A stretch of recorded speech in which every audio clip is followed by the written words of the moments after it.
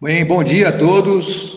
Sejam bem-vindos aí a mais uma, uma live aí promovida aí pela Robótica Paula Souza, né, um projeto aí do Centro Paula Souza, né, que visa trabalhar alternativas para ajudar os professores e alunos em sala de aula. E hoje estaremos aqui, né, com dois palestrantes aí top que vão apresentar para a gente aí algumas informações relevantes aí para o mundo de jogos né, e competições na área da, da educação. Tá? Então, para quem me conhece, eu sou o professor Tiago Jesus de Souza, né, sou coordenador de projetos da CETEC Capacitações né, no Centro Paula Souza, e também junto aí na coordenação do projeto da robótica, tá? junto com o professor Carlos.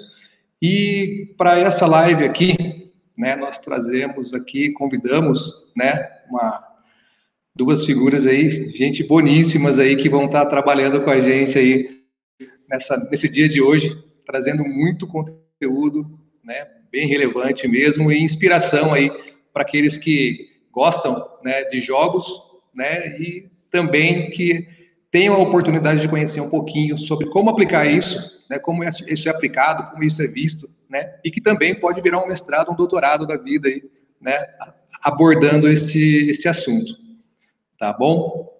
Então, com vocês aqui, vou apresentar primeiro aqui o Gabriel, né, o Gabriel que ele é Gabriel Coutinho Natucci, né, ele é doutorando em jogos e game design educacional, né, pela Faculdade de Tecnologia de Limeira, né, da Unicamp, e também teremos aqui o Jasmane Tito Cruz, né, mestrando em Realidade Virtual e Jogos, né, também pela Faculdade de Tecnologia de Limeira, da Unicamp. Tá ok? Então eu vou passar a bola aqui para o Gabriel, que vai começar as apresentações, né? Ele se apresenta mais um pouquinho aí. E aí, Gabriel, eu vou deixar contigo então, beleza? Boa apresentação, hein? Obrigado, Thiago. Bom, Bom dia, pessoal. Obrigado pelo convite, Thiago, mais uma vez. É, como ele comentou, a gente vai falar sobre jogos e sobre um pouco da pesquisa que a gente tem, tem feito aqui no, no doutorado na Unicamp e no, no mestrado também com o Jasmine. É, então, é, a gente dividiu a apresentação em duas partes. Eu vou focar um pouco mais na minha pesquisa de jogos e criatividade, mudança comportamental, que é onde a gente vai trabalhar, e falar um pouco também sobre o mercado de jogos. É um mercado que eu entrei faz pouco tempo né, e tem algumas, algumas dicas para dar para quem quer entrar, quem é aluno, quem tem interesse na área. Eu posso tentar dar algumas dicas a esse respeito. Então, bom, vamos começar a, a apresentação. Então, a gente vai comentar, como o Tiago falou, sobre jogos e competições na educação, num contexto mais amplo. Mas para fazer isso, acho importante contar um pouquinho da, da minha história, né? Como que eu comecei com jogos. É, uma coisa que me fascinou quando eu comecei nessa, nessa nova área de pesquisa é que a trajetória de uma pessoa com jogos é totalmente diferente uma da outra. Eu conheço, por exemplo, engenheiros civis que trabalham com programação em jogos hoje, conheço físicos e psicanalistas que trabalham no desenvolvimento de, de jogos também, então, é um público muito diverso e eu acho importante trazer um pouco dessa, dessa trajetória. Para mim, a história do, dos jogos começou ainda quando eu estava trabalhando é, numa multinacional alemã, aqui em Campinas.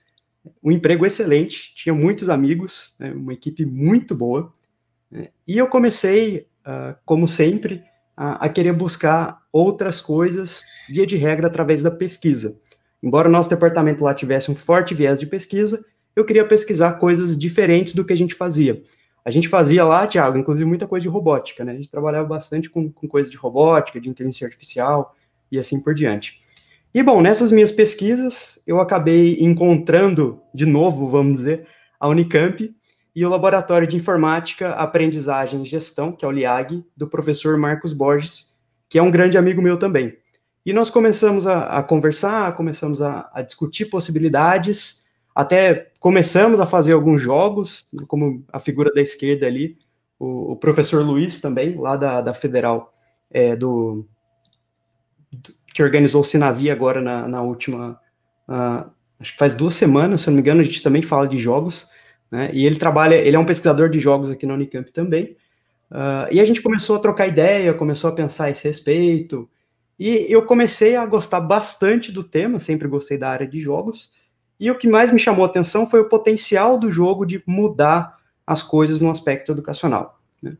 Por que, que isso é importante? Né? Quando eu comecei a pesquisar, quando eu comecei a até mesmo ministrar treinamentos dentro da, da minha antiga empresa e pesquisar a respeito dos jogos, uma imagem começou a me incomodar bastante assim no ambiente educacional, que era essa imagem basicamente, que é uma típica sala de aula hoje em dia, talvez menos típica do que a maioria, se vocês podem ver, tem vários alunos aí com notebook, com tecnologia, uh, trabalhando é, em pares, né? A sala de aula talvez seja mais conservada do que a média, né? mas ainda assim, é, essa figura me incomodava um pouco, né?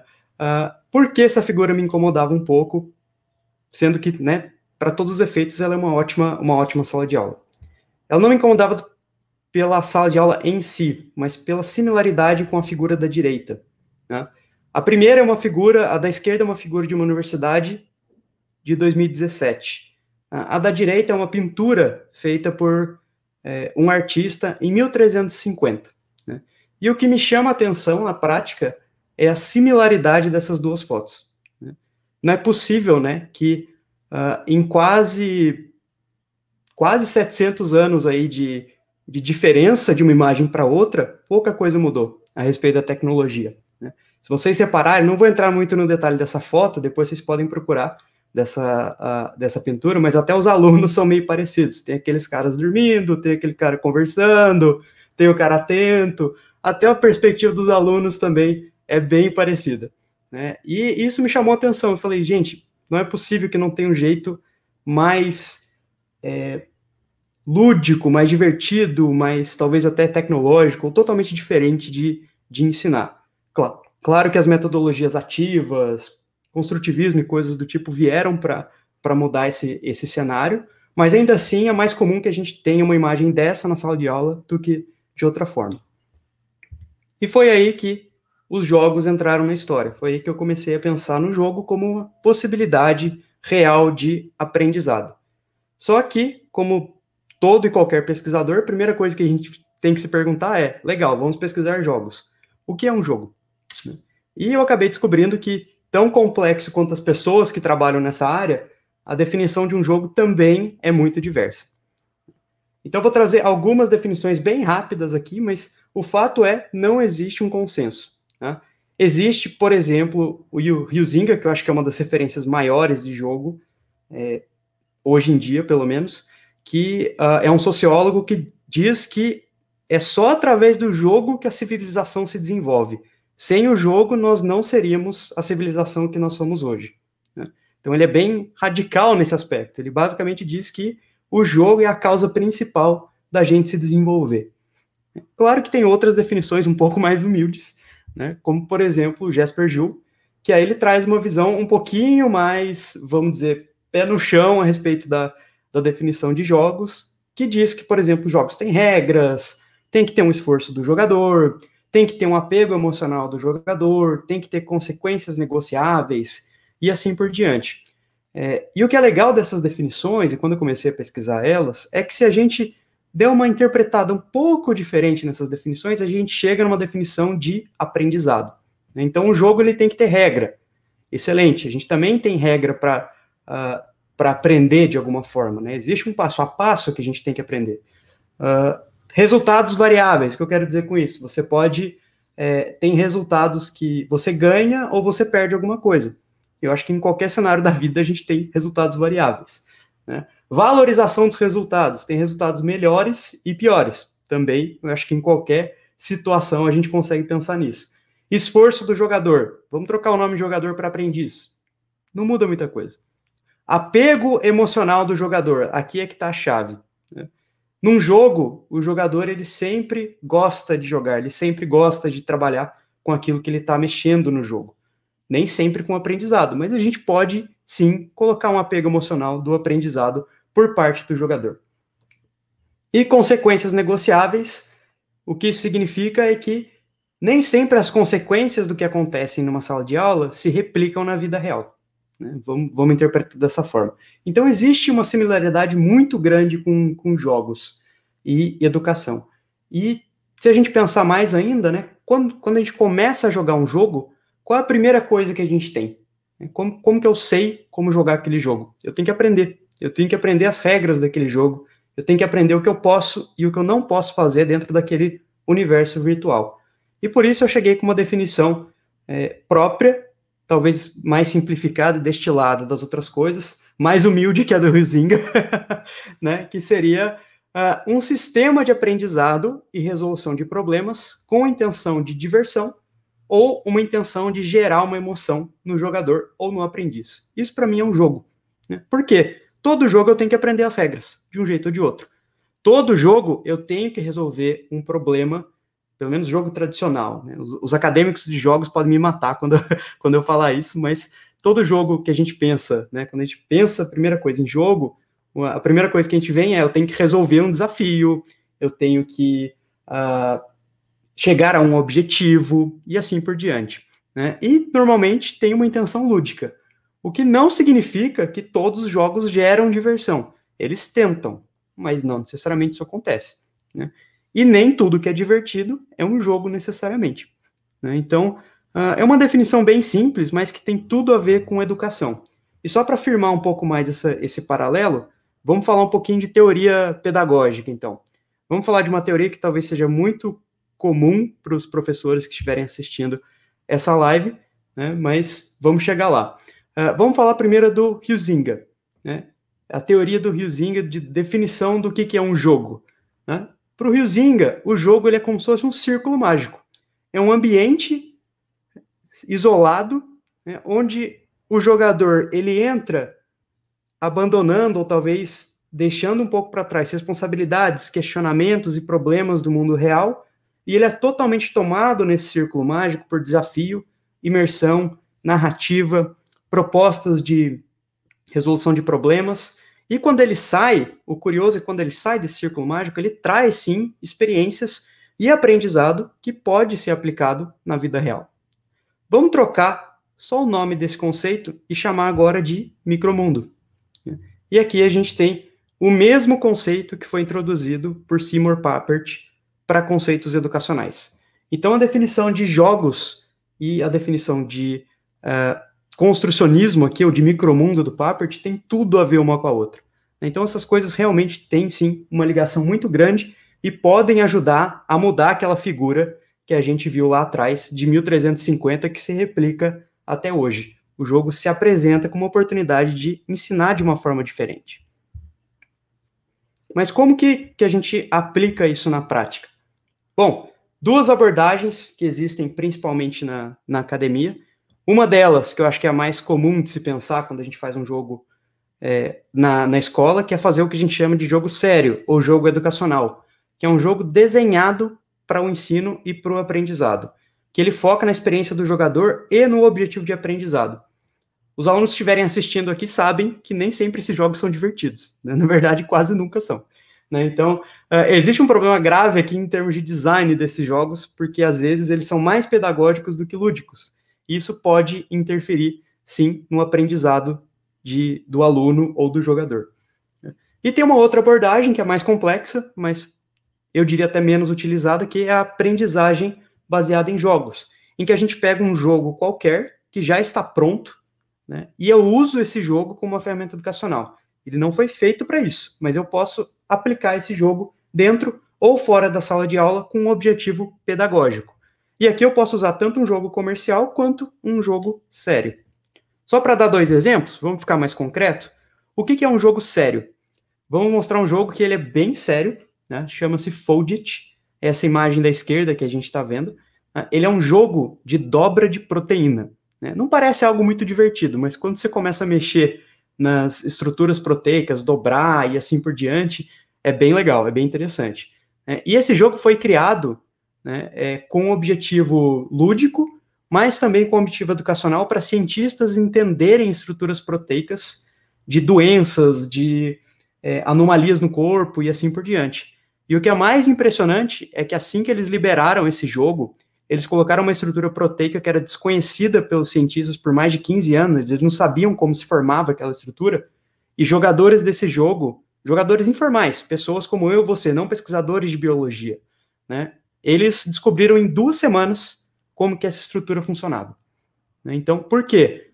Claro, teve o objetivo do crowdsourcing aí, de você dividir esse conhecimento com outras pessoas para elas tentarem, mas com certeza o papel lúdico aqui, o apego emocional e afetivo, como a gente estava comentando, do jogo, fez toda a diferença nesse caso. Olha a diferença, duas semanas para 15 anos de pesquisa científica. É muita coisa. E aprendizagem baseada em jogos, eu trouxe um exemplo, pessoal que me conhece é, sabe que eu sou meio advogado de jogos de tabuleiro. Né? O Fold é um jogo virtual. O Pandemic, que eu estou mostrando aqui na direita, é um jogo de tabuleiro. Tá? É, e eu trouxe ele porque eu acho ele extremamente relevante nessa situação que a gente está hoje, porque ele é um jogo cooperativo, não é competitivo. Né? As pessoas têm que trabalhar como uma equipe, onde você trabalha com uma equipe de resposta a pandemias. Né? Então acontece uma pandemia global e você é responsável pelo time de uh, controle daquela doença e cura dessa doença, que pode ser muito bem o Covid-19. Né? Por que não pegar esse jogo e ilustrar como funciona é, uma pandemia em termos biológicos, usando até o exemplo do Covid-19, dentro de uma sala de aula? Né? Isso é o aprendizagem, a aprendizagem baseada em jogos. E é muito passível de ser feito. Claro, a gente tem um outro exemplo aqui que é coordenado pelo próprio Tiago, né, que é o Robocode, né, que é um jogo sério com o objetivo de programar um robô para batalhar em uma arena, gerenciando seus recursos. Isso aqui é um jogo competitivo onde os alunos aprendem a programar melhor e, se a gente pensar num nível hierárquico de raciocínio maior, a gente aprende mais o pensamento computacional. Que eu não vou entrar tanto no detalhe aqui, mas tem a ver com programação mas se trata mais sobre a capacidade de resolver problemas usando um computador. Então, o Robocode também é uma excelente ferramenta para esse tipo de coisa. Inclusive, o Centro Passouza está organizando uma, uma competição de Robocode agora. Provavelmente o Thiago vai, vai falar isso para vocês depois. Mas esse também é um excelente jogo sério para ser trabalhado dentro da sala de aula. E claro, existe aquele meio termo. Né? As pessoas podem estar se perguntando aí, poxa, mas e a gamificação, Gabriel? O que é a gamificação? É você usar conceitos de jogos em práticas que não necessariamente têm a ver com deixar as coisas divertidas. Né? Então, eu posso sim usar algum elemento do jogo, e não um jogo inteiro, na sala de aula. Por exemplo, troféu, medalhas, desafios, temporização, o fato de eu colocar tempo, como se fosse aquelas gincanas antigas, isso também é, é caracterizado como uma mecânica de gamificação. E as duas coisas mais importantes que muitas vezes são negligenciadas na gamificação, que é a estética, a forma como eu apresento as coisas é tão importante quanto o que eu estou apresentando, e a narrativa. Contar uma história também é uma mecânica de jogo, não só de jogo, mas é uma mecânica fundamental de jogo. Nós seres humanos somos quase que direcionados para ouvir e replicar histórias. Então, se a gente consegue transformar qualquer experiência de aprendizado numa história, automaticamente a gente já vai estar mais engajado e, curiosamente, a gente vai ter um apego emocional maior com essa história. Tá? Então, são também técnicas bem interessantes de serem aplicadas. Um exemplo claro aqui é o Duolingo. É, provavelmente vários de vocês conhecem essa, esse aplicativo de aprendizado de línguas que ele usa gamificação. E o que é mais legal, assim, ele tem milhões de usuários e as gamificações que ele usa, em termos acadêmicos, vamos dizer, as mecânicas que ele usa, são bem simples. Né? Imagino que a gente conseguiria fazer com mecânicas mais, mais complexas, né? Colocar um pouco de narrativa, colocar um pouco de um pouco mais de estética. Né? O Duolingo não tem narrativa. Né? Agora acho que ele está começando a colocar tem uns personagenzinhos, algumas coisas diferentes. Mas uh, imagina se o Duolingo contasse uma história para você e não só te desse alguns desafios. Seria bem mais interessante. E obviamente, eu acho que o maior erro quando a gente tenta transportar esse mundo do jogo para o mundo para o mundo educacional, é, a gente acha que só o fato de ser um jogo já melhora para todo mundo. Não é verdade. Né? Assim como existem perfis de aprendizado, existem perfis de jogadores. Né? Tem aqueles jogadores que preferem, como eu, por exemplo, a imersão e a criatividade dentro de um jogo. Né? Eu amo jogos que têm história, que têm um cenário rico, que têm personagens interessantes, personagens complexos. Mas não necessariamente é o que outros jogadores gostam. Tem jogadores que gostam de jogos de ação, ou de jogos em que eu possa socializar com outras pessoas. Né? Ou jogos ainda que me desafiam a ser cada vez melhor. Né? Então são três eixos de jogos que muitas vezes são opostos. Claro que existe uma ponte entre eles, mas é preciso saber dessas, é, desses perfis de, de jogador para poder tanto desenhar um jogo, seja ele educacional ou não, mas também para desenhar uma experiência de aprendizado usando jogos que seja legal para todo mundo. Né? Por exemplo, troféu. Troféu não atinge todos esses três eixos. Né? Ele só atinge talvez o primeiro e o segundo eixo. Eu diria até mais o segundo do que o primeiro. Né? Então, um troféu ele só atinge um dos eixos de potenciais jogadores dentro dessa, uh, desse quadro que eu estou mostrando. Para quem não conhece, tá? Esse, esse logo da direita, Quantic Foundry, é uma, é uma companhia dos Estados Unidos que fez uh, pesquisas extensivas, assim, tanto em termos de comportamento quanto em termos de gosto de jogos, e eles fazem análises estatísticas em cima do perfil comportamental de jogadores. É muito interessante esse site, e esse é um resultado que eles têm dos eixos. Tem vários outros eixos que a gente pode traçar, mas esse é um que é bem estatisticamente significativo. Foi testado com milhares e milhares de pessoas. E bom, falamos mais ou menos como aplicar, falamos os dois tipos de, uh, de aplicação que existe na educação e, e no, com jogos, e falamos dessa semelhança entre jogos e educação que existe, sempre vai existir, e na minha opinião vai ficar cada vez maior essa semelhança. Então, por que, que eu deveria aplicar um jogo? Você, como professor, é, por que, que eu deveria aplicar um jogo na sala de aula ou mesmo como tarefa de casa? Bom, primeiro caso, porque as coisas já estão caminhando para isso. né? Então, é, se você pegar essas duas imagens, né, é, um, um marco, eu acho, na história dos jogos recente, se vocês olharem a data que é de junho de 2020, né, o primeiro jogo da história foi eleito agora a ser legalmente reconhecido como um remédio. Né? Então, ele está, sim, sendo aplicado como um remédio para crianças com déficit de atenção. Já foi aprovado pelo FDA. Né? Então a gente tem agora um jogo com uma interação, é, com um tratamento para crianças com déficit de atenção. Então essas coisas estão começando a, a, evoluir. Os jogos deixaram de ser só aquela coisa de eu conto, eu tenho um texto, um livro-texto que eu coloco numa forma de jogo.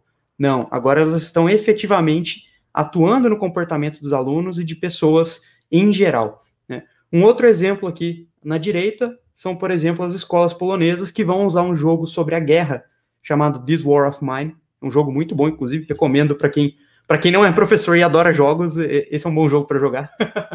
né? E ele ensina sociologia e história. E ele foi adicionado como leitura recomendada nas instituições de ensino na Polônia. Por quê? Para fazer um jogo desse, o game designer tem que entrar a fundo na história e na sociologia da época, quase tanto quanto um historiador. Né? Então, é extremamente interessante usar esse tipo de recurso para ensinar conceitos daquela época. Por que não? A gente tem até os elementos visuais. Segundo ponto, o mundo está mudando cada vez mais rápido e cada vez mais. As habilidades que a gente precisava há dois anos atrás são muito diferentes das habilidades que a gente vai precisar daqui a dois anos. Né? Entre elas, eu gosto de destacar esse estudo aqui do World Economic Forum, tá? mas principalmente quais são as, as importantes, as competências mais importantes que a gente vai ter: pensamento analítico e inovação, aprendizado ativo e novas estratégias de aprendizado, e criatividade, originalidade e iniciativa. E aí eu pergunto para vocês, tanto como alunos quanto professores, vocês já tiveram uma aula sobre criatividade? Vocês já pesquisaram ou estudaram criatividade? Né? Pois é, essa é uma coisa que vai ser cada vez mais relevante no nosso mundo uh, futuro.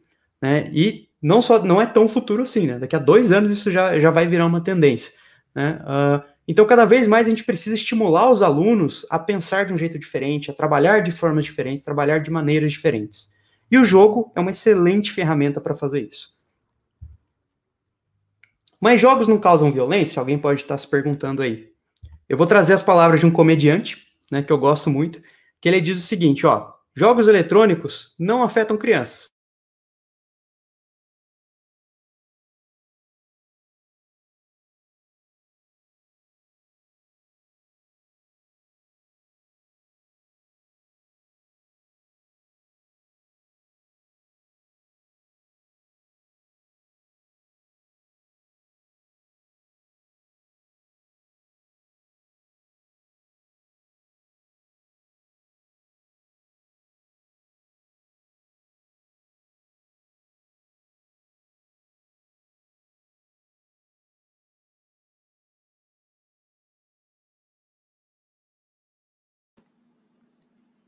Gabriel, tá me ouvindo? Acho que caiu sua conexão. Acho que sim, tava. Tava falando do Pac-Man. Peraí, ele saiu, gente, só um minuto. Vamos capturar ele de volta aqui. Thiago? Pronto, agora sim, reviveu. Vamos lá, onde que eu parei? É, é, você estava começando a falar né, da apresentação dos, do, da definição do. Volta, volta a apresentação, tá aqui. Volta um slide. A gente viu do Pac-Man, não? Isso, bem no comecinho, pode começar de novo esse daí. Ainda não. Ah, boa. Legal. Tá bom. É, então vamos lá. Desculpa, gente, minha internet aqui é esporádica. é, vamos lá. Então, como eu falei, né, o, o, o, comediante ele, ele, ele fala o seguinte, né, que se os jogos nos afetassem, hoje em dia a gente estaria andando em quartos escuros, tomando pílulas mágicas e escutando música eletrônica repetitiva.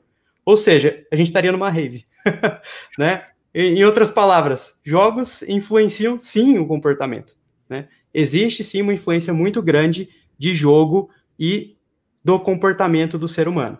Né? Uh, só que isso não é uma coisa ruim. Por quê? Alguns, alguns estudos apontam que comportamentos violentos do jogo, quando são apontados, eles têm poucos minutos de duração. Ou seja, mesmo que uma pessoa jogue um jogo violento, ela pode ficar, pode ter uma tendência a ser um pouquinho mais violenta, mas no máximo por 5, 6 minutos. Né? Entretanto, Jogos com comportamentos outros que não sejam de violência têm comportamentos benéficos duradouros. Tá? Existem pesquisas, por exemplo, mostrando que o jogo pode ser usado para controle de compulsões, controle de, é, por exemplo, alcoolismo. Né? A gente pode ajudar, usar o jogo como uma forma de, de regular a necessidade da pessoa de consumir álcool, ou até mesmo de, de doenças cognitivas. Existem resultados bem interessantes nessa área. Então o jogo ele tem uma capacidade inata de influenciar o comportamento. Né?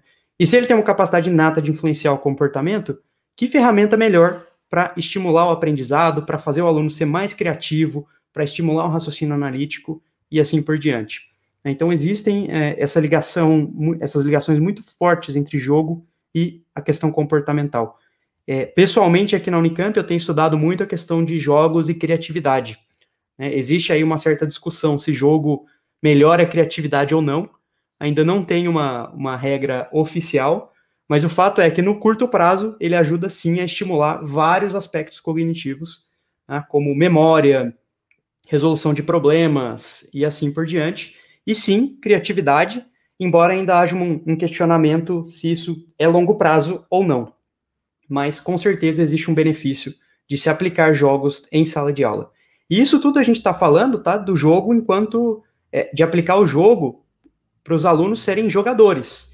Eu nem cheguei a comentar uh, de alunos que fazem jogos. Né? Isso também existe várias pesquisas interessantes. Inclusive, um amigo meu está participando de uma pesquisa brasileira aqui, em que eles estão usando o jogo, né? Eles estão ensinando pessoas de, é, de terceira idade a fazer jogos, e o ato de fazer um jogo pode ajudar, ou pelo menos a reduzir alguns dos problemas mais severos de doenças como Alzheimer e outras doen doenças cognitivas. Eles estão tendo resultados bem positivos nessa linha. Então, fazer um jogo é mais benéfico ainda do que só jogar um jogo, né, o que é algo bem interessante.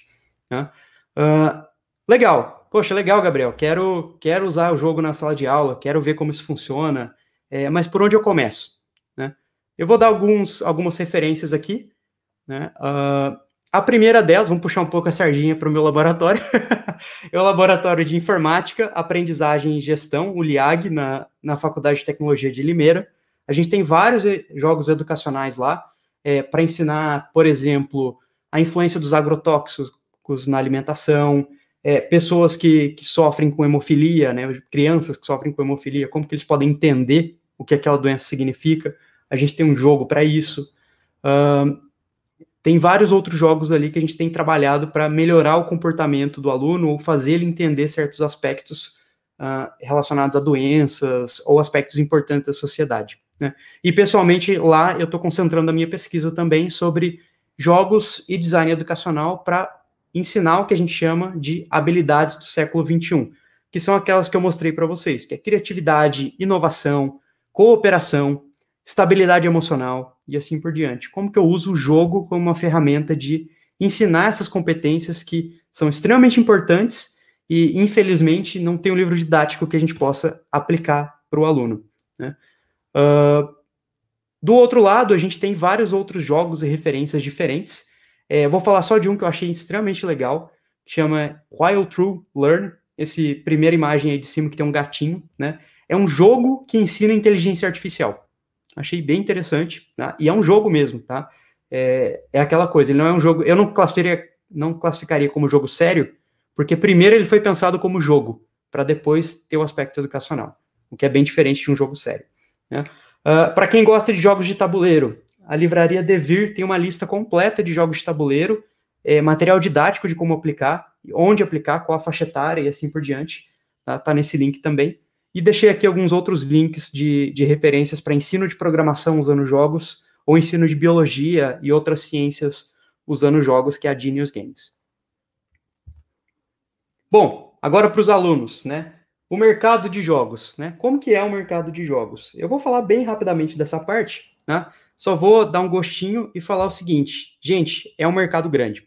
Tá? Eu comecei a entrar nesse mercado uh, no começo desse ano, na prática, né? E me espantou a quantidade de pessoas trabalhando, a complexidade da indústria e, de fato, a, o potencial da indústria de crescer tanto no Brasil quanto mundialmente, né? Então, só para trazer alguns dados, né? É, o Brasil é o 13 terceiro maior mercado do mundo. Né?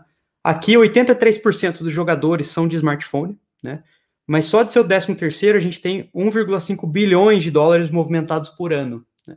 Vocês imaginam o 12 segundo, 11 primeiro e assim por diante. Né? Uh, nosso mercado de jogos aqui, a, a competência de jogos aqui no Brasil é forte, tá? isso me surpreendeu bastante também. É, artistas, principalmente artistas de pixel art, artistas 2D, são muito fortes aqui no Brasil, reconhecidos internacionalmente, inclusive. Né? Uh, e aqui a gente tem também uma, uma, empresa gigantesca da área de jogos, que foi feita no Brasil e é brasileira, que é a Wildlife, que recentemente passou a valer agora 3 bilhões de dólares.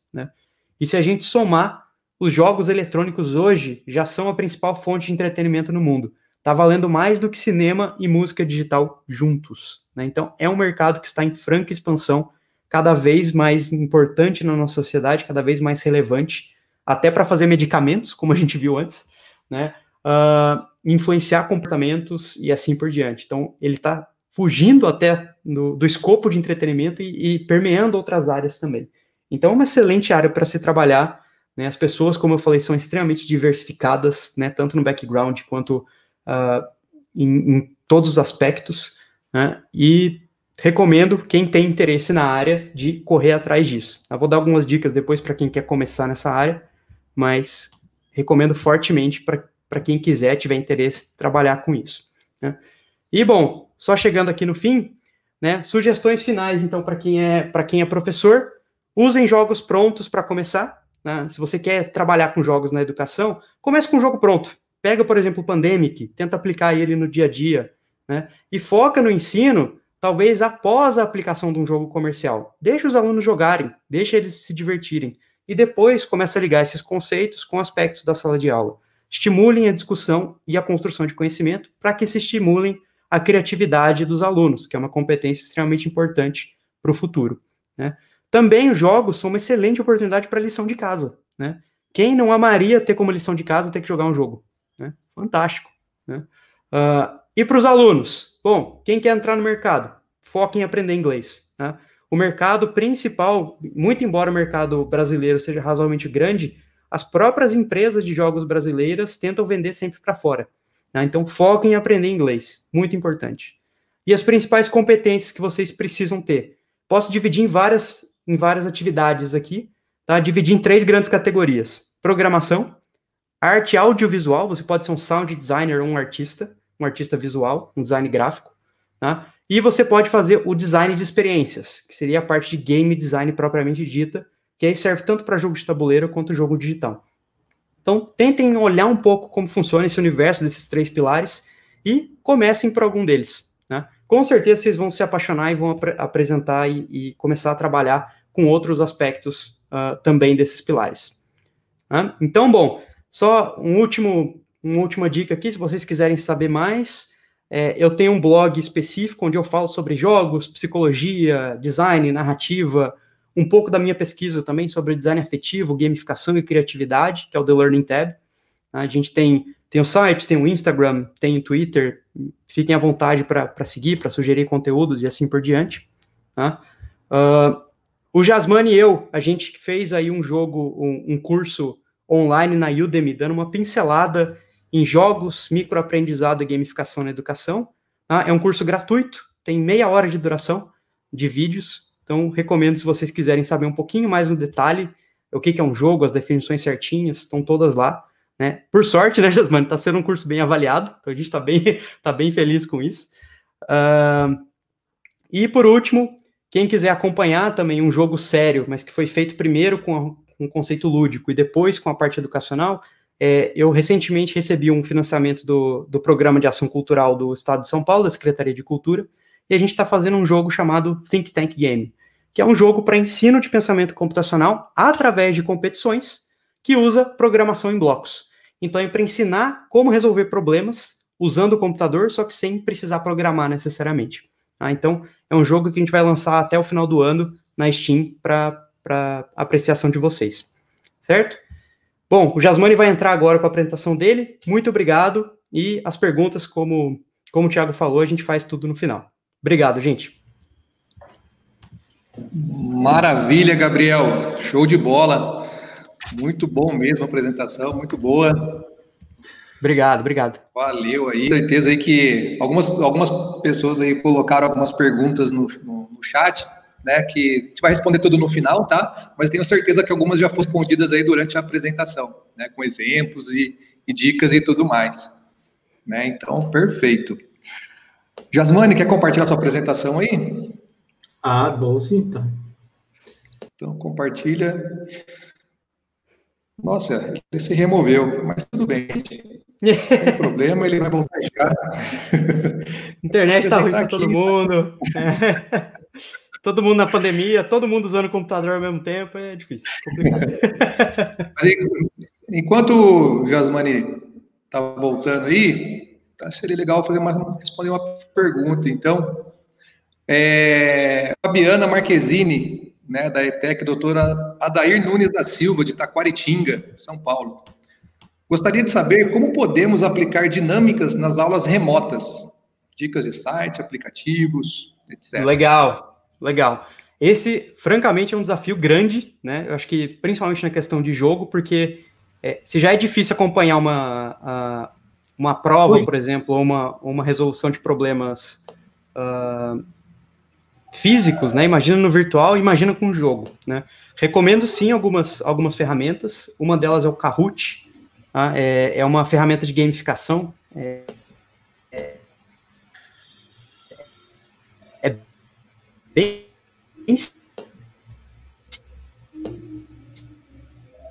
simples, mas utilizado, tá? de tabuleiro online que você pode usar. Não me vem à cabeça agora uh, nenhuma em particular, mas eu eu posso até pesquisar e depois eu deixo com, com o Thiago. É, mas a, a, que me vem à cabeça a priori é o Kahoot, né, que ele deixa quizzes e provas e coisas do tipo de uma forma gamificada. Né, então, acho que é uma ferramenta bem interessante de, de se usar. Né.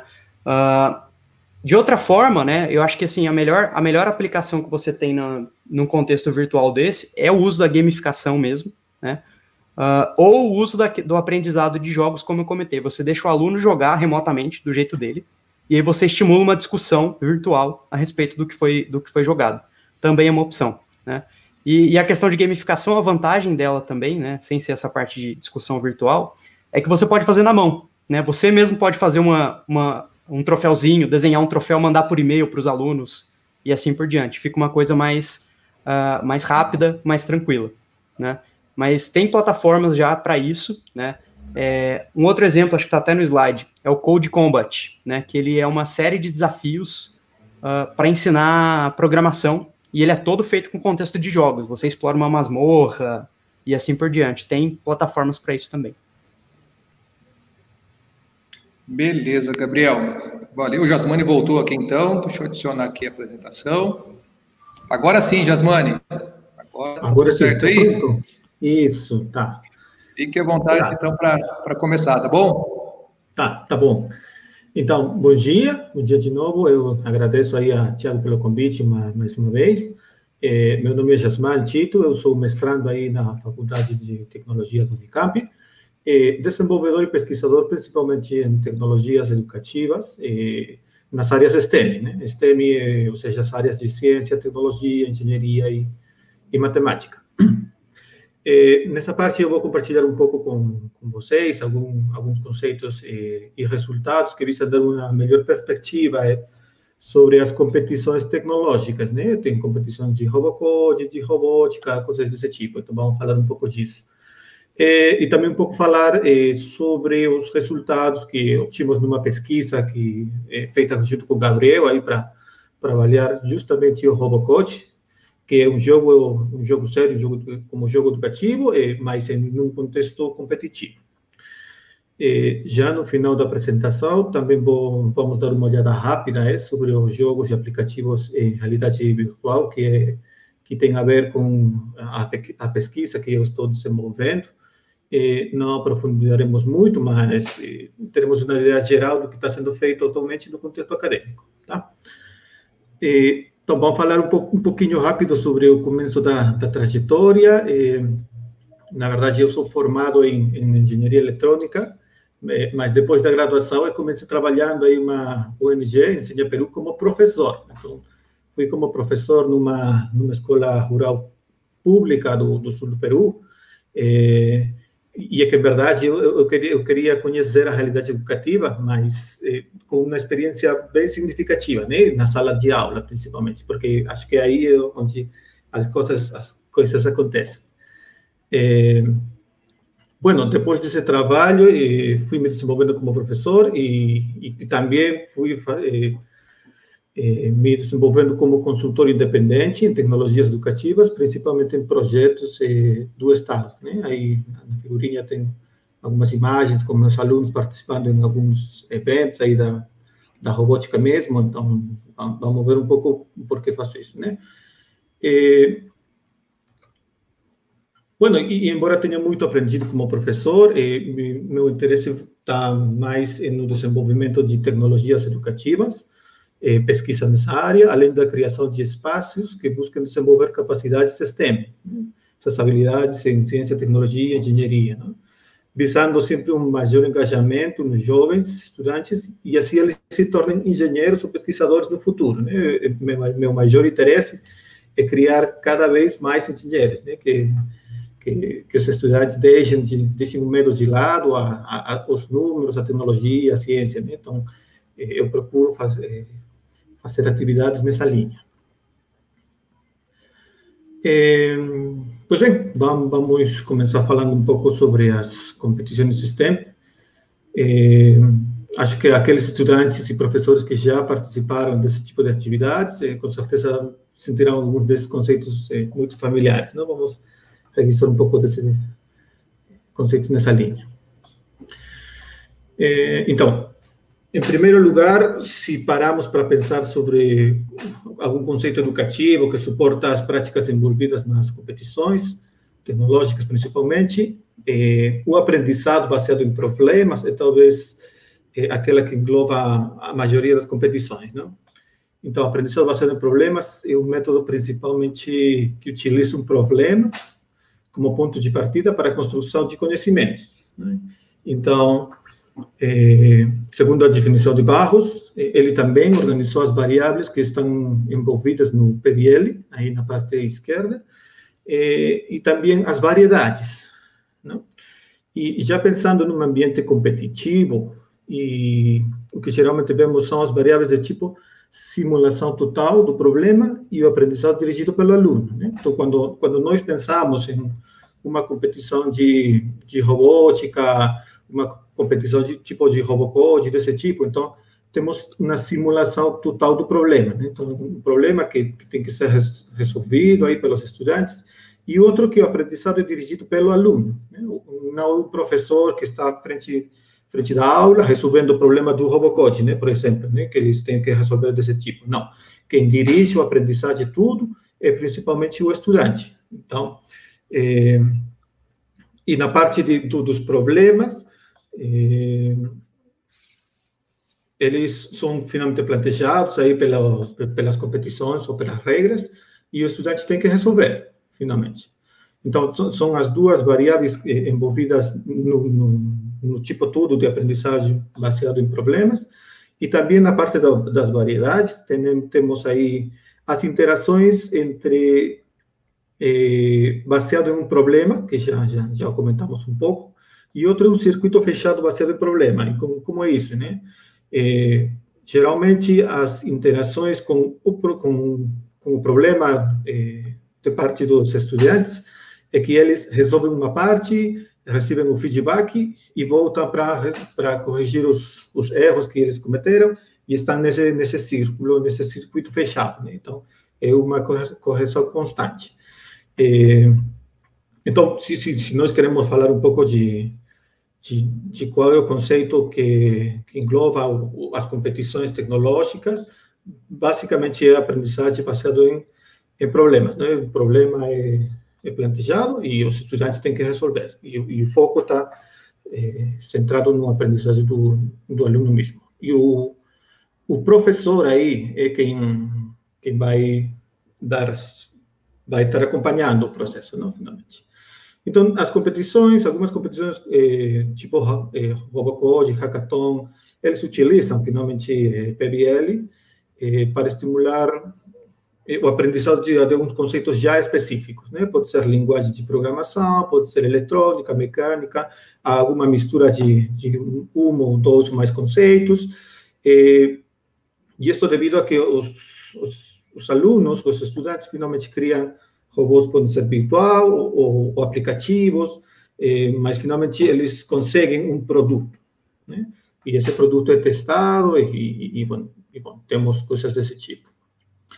Ah, já um pouco dando uma olhada aí as, as competições em si, temos aí o, o Robocode, né? O Robocode que é um jogo sério, mas que também está sendo utilizado no ambiente competitivo. E, e, e, e utilizá-lo, é, então, além dos benefícios que, que trouxe a, o, o jogo sério, aí que, que comentou mesmo, mesmo Gabriel, é, ele, ao estar envolvido num ambiente competitivo, trouxe benefícios adicionais, né? Então, que vamos, é, vamos, vamos olhar um pouco eh, mais adiante. Então.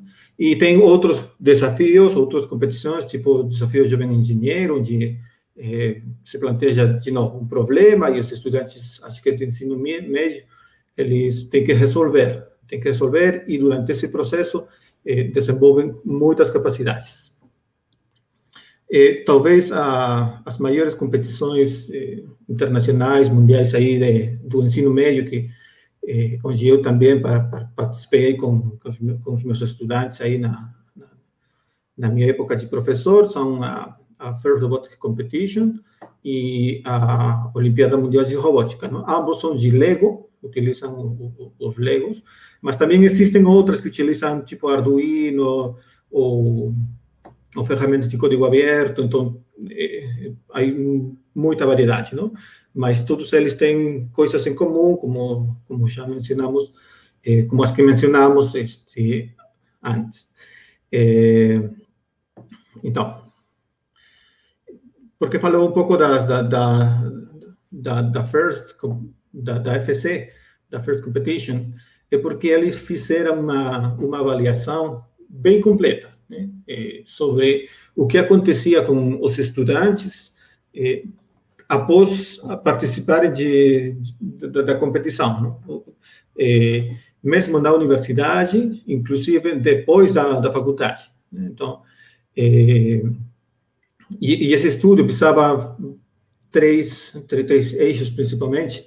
O primeiro era o impacto da, da competição da FIRST, em termos de trajetória acadêmica e de carreira, né? Ou seja, como, como finalmente é, o, o fato de ter participado aí no, no, no, na competição de robótica eh, influía em eles para o momento de eleger uma carreira eh, na faculdade ou até que ponto na eh, profissional eles eles conseguiam atingir, né? E o outro eixo era o, o que podemos aprender sobre a implementação e identificar a, algumas práticas. Eh, mesmo que acho que aqui na, na live temos organizadores de alguns torneios, de alguns concursos tipo Robocop e outros, sabemos que temos muitas dificuldades no momento de organizar esse tipo de, de eventos, então aqui também tem algumas eh, algumas lições aprendidas eh, que também foram avaliadas. Né? E que tipo de impacto da participação da FIRST teve nas escolas participantes e parceiras organizações? Né? Ou seja, qual o benefício não somente para os estudantes, quanto para os professores, mas também para, para a instituição, para o colégio, para, para a escola. Né? E, então, principalmente sobre os estudantes, os estudantes identificaram eh, que a experiência de equipe foi uma das mais, das mais influentes, não? As, as habilidades de equipe. Tinham coisas como eles conseguiam eh, ouvir e responder às, sugestões de outras pessoas. Não? Às vezes temos estudantes que que, que é muito difícil para eles este, eh, ouvir para e, dar sugestões para que o, equipe tudo avance, não? Eh, depois ah, aprenderam maneiras de, de interromper ou diminuir conflitos entre pessoas, não? Os conflitos sempre estão presentes aí no, no time. Então, o, o, que eles valoraram muito da experiência, desse tipo de experiências competitivas que, que, se fazem em times, é que eles aprenderam muito isso, a, a interromper, a diminuir os conflitos, né, a, a, se relacionar entre eles, eh, a se relacionar não somente entre estudantes, mas também com, com os professores, com os supervisores, em um ambiente todo. Né? Então, as habilidades de, de, equipe foram talvez as mais valoradas pelos, pelos estudantes. Não?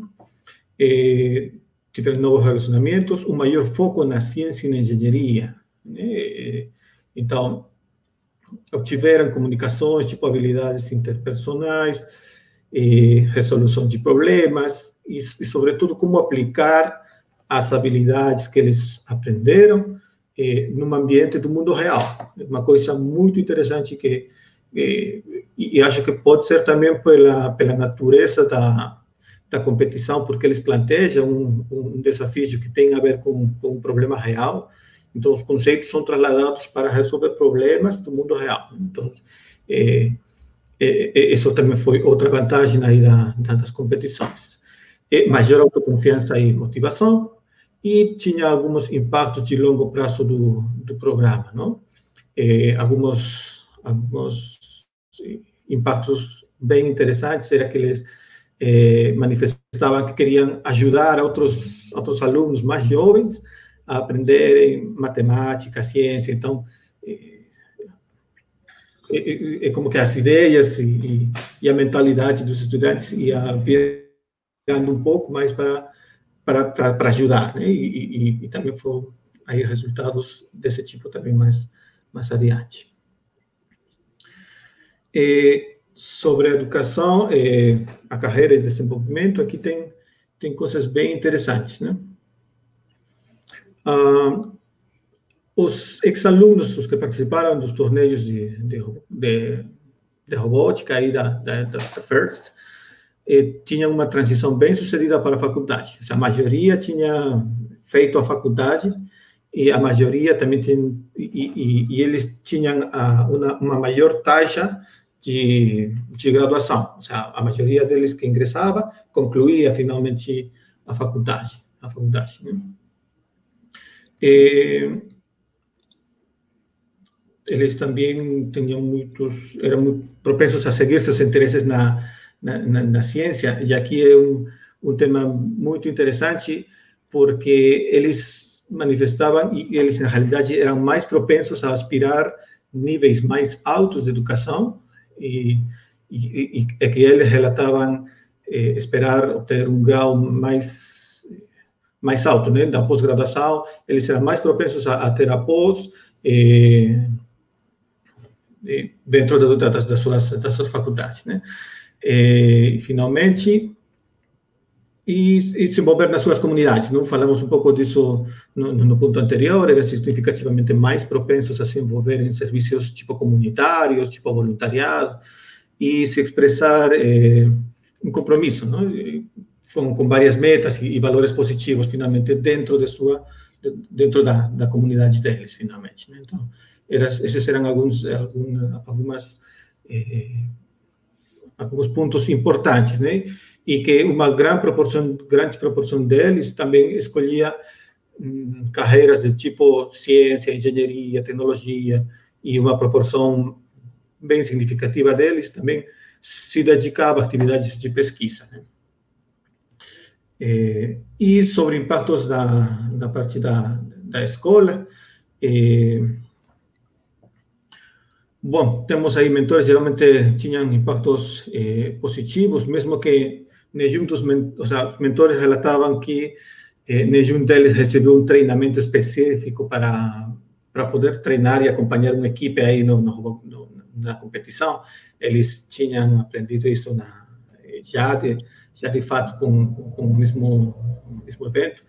Eh, e também tinha, além de efeitos positivos sobre o ambiente e a imagem de, da escola. Né? Então, a escola mesma que participava nesse tipo de eventos eh, era diferenciada dentro do conjunto de escolas da, da, da comunidade. Né? Então, eh, isso também é um benefício para nem só para os estudantes e os professores, sino mais também para, para as escolas. Né?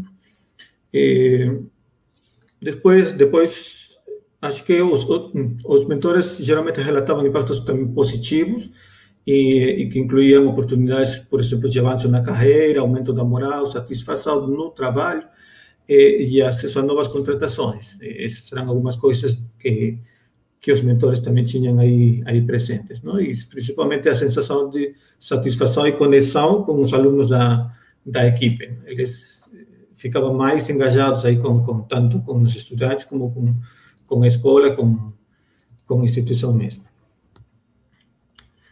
E também tem alguns desafios aí que foram apresentados e, e acho que são comuns para, para todos aqueles que eh, desenvolvemos aí eh, torneios ou eventos desse tipo, que era aprender a organizar e dirigir uma equipe, eh, principalmente porque os, os equipes são eh, são integrados, mas eh, o começo sempre é a parte mais difícil, não? Por onde começar, como começar, de, o que fazer, principalmente quando são equipos novos ou quando são competições novas, né?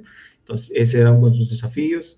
Espaços de reunião, não, geralmente não tem um espaço dedicado para este vai ser a sala das competições, onde, onde o pessoal vai, vai praticar e, e se preparar para participar em um concurso, né? Geralmente os espaços são aproveitados eh, quando os, os laboratórios de computação estão, estão vazios, sem estudantes, ou pode ser um sábado, coisas desse tipo, né? É, outro era tema de transporte e segurança, geralmente quando tinha que participar em outro lugar que não fosse a escola.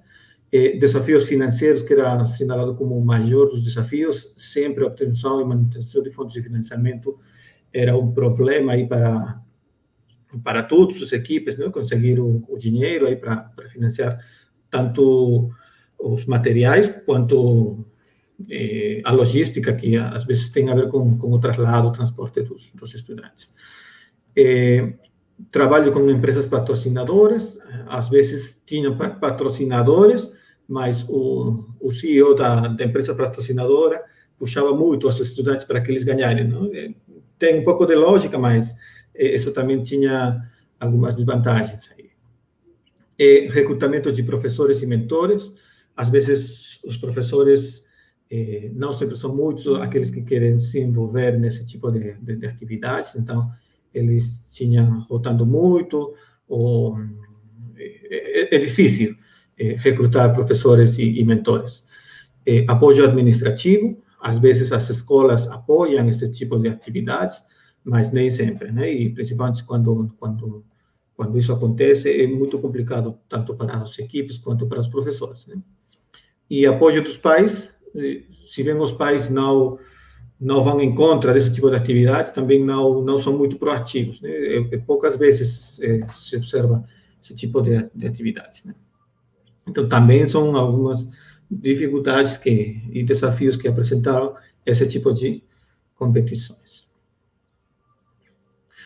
É, então, olhamos aí algumas vantagens, e, algumas coisas que tinham positivas as competições, e, e já um pouco falando da, das competições e Robocode, que, que nós eh, avaliamos um pouco aqui no, no, no contexto, eh, já vimos que os estudantes tinham desenvolvido bem o pensamento computacional, eh, se reportaram aí um estímulo na, na prática de algoritmos, modelagem, abstração de problemas, não? principalmente esse último que é bem complexo de trabalhar, mas eh, foi atingido, né? E, e acho que Robocode, como jogo educacional, apoia muito nesse, nesse contexto. Então, falaríamos que esse é um tema mais relacionado com o jogo, mais do que com a competição. Porém, temos algumas outras que sim têm a ver com a competição, finalmente, né? Por exemplo, em, na parte de habilidades do século XXI, trabalho em equipe, mesmo na, na competição de, de robótica da FIRST, como aqui na competição de Robocode, trabalho em equipe é uma das coisas mais valoradas, criatividade, resolução de problemas, gestão de projetos, né? Essa foi uma, uma coisa bem interessante que nós achamos, porque é uma habilidade que não fica só na, na escola, mas vai longe da, no âmbito profissional, no âmbito pessoal eh, dos mesmos participantes. E o torneio estimulou participantes eh, Bem, também o torneio mesmo estimulou a outros a continuarem carreiras nas áreas STEM, né? nas áreas pode ser de engenharia, da ciência, da tecnologia, né? e algumas também da, da gestão de equipes. Hum, algumas limitações aí no é, respeito aos resultados é que às vezes é, esse resultado pode estar ligado à integração dos jogos na sala de aula. Né? Então observamos que às vezes, quando o jogo é utilizado nem somente na, na competição ou para a competição, mas quanto para, mas também na sala de aula, então esse o impacto é maior. Então, a ideia é que não seja somente, não seja somente aplicado na, para uma competição em particular, para um momento durante o ano, mas também seja utilizado na sala de aula e isso vai enxergar mais os, os resultados. É, então, até aí um pouco a parte do, dos benefícios das competições, são muito produtivas para, para os estudantes, porque é, complementam muito a, a formação e, e, e, e, coisas que talvez na, na, na, sala de aula não podem ser atendidas. Né? Já neste ponto, vou, vou, vou, fechar um pouco comentando um pouco sobre jogos sérios e realidade virtual. É, em realidade, em verdade é, é, é bem curtinho esta parte. E, bom, é, igual que, que, jogos, a realidade virtual tem algumas definições é, distintas, mas é, todas estão na, nessa linha daqui, né? É uma experiência na qual o usuário está efetivamente imerso, né? E a palavra imersão tem muita tem muitas variedades e, e tem a ver muito com os dispositivos, com quanto a é, o com quanto o usuário, o, o, pessoal sente que está no ambiente, no ambiente virtual, né, no mundo virtual, é, se sente parte de, finalmente. É, e isso implica que o usuário tem controle dinâmico do seu ponto de vista também, né? Então, quanto mais controle eu tenho, também posso me sentir mais imerso no ambiente. Nem sempre e nem sempre os dispositivos eletrônicos atendem essa essa parte eh, porque temos variedade, não temos hoje temos dispositivos que para interagir com os objetos do mundo virtual, quanto objetos como somente para que para ficar olhando, né, num ponto estático. Eh, por exemplo, muitos, talvez muitos de vocês conhecem o, Google Carboar, que utiliza o celular, eh, um, que é posto aí num, nos óculos feitos de, de de papel, de cartão e, e pronto, não? Mas só dá para olhar, não dá para interagir, interagir com, com o mundo todo, com o mundo virtual. E, e bem, algumas aplicações, temos aí aplicações de tipo especializadas, é, pode ser no âmbito científico, no âmbito de, de arquitetura, de, de desenho, de operações, explorações, mas também temos algumas de tipo educacional, treinamento e social, né? Por exemplo, na parte social é muito interessante olhar aplicações de realidade virtual para atingir os medos, né, as fobias. É, se uma pessoa tem fobia ou, ou medo a ficar na altura, por exemplo, então ele pode ser imerso no, no aplicativo de realidade virtual e ir e, e subir de nível, progredindo pouco em pouco, a, até conseguir superar essa fobia, né? E, ou, ou, às vezes outros têm fobias eh, a algum tipo de animais, então são expostos a esse tipo de animais eh, de pouco em pouco e, e, esse tipo de tratamentos, principalmente na parte psicológica, está sendo desenvolvido também. Entretenimento é a maior das do, do, do, dos, dos aplicativos agora, e também está começando a, a parte educacional de treinamento, né? treinamento principalmente na, na parte, ah, aqui tem uma imagem, pode ser ilustrativa. É, o, o, primeiro é parte de entretenimento, né?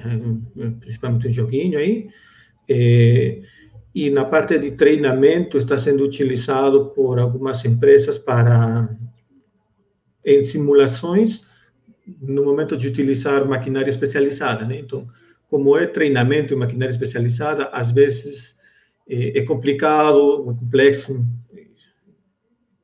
pegar uma máquina só para praticar, né? Porque a máquina tem que estar trabalhando, tem que estar produzindo.